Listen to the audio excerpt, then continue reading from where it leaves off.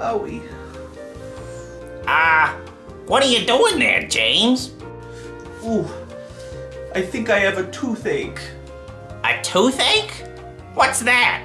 That's when a bunch of miniature Beedrills crawl into your mouth at night while you're sleeping and drill into your teeth. Ooh, they aren't very good at it, but it still hurts.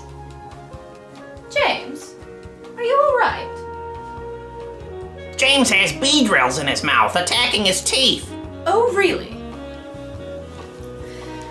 Open your mouth. Mm-mm, James. I don't wanna. James, open your mouth.